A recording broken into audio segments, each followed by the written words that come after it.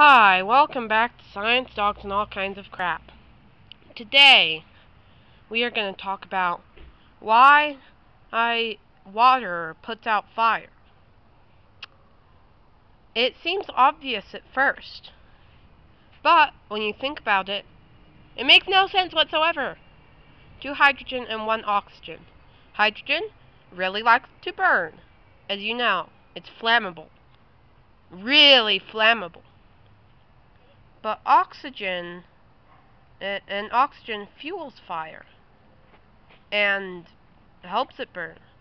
Burn, burn, burn. So why does H2O, water, hydrogen to oxygen, not ignite? Is it because of of its thermal mass? Because or is it because of the chemical properties?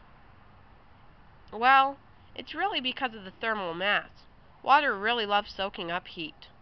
But, uh, once it gets hot enough, it will actually burn. So, it's not the chemical property to not burn.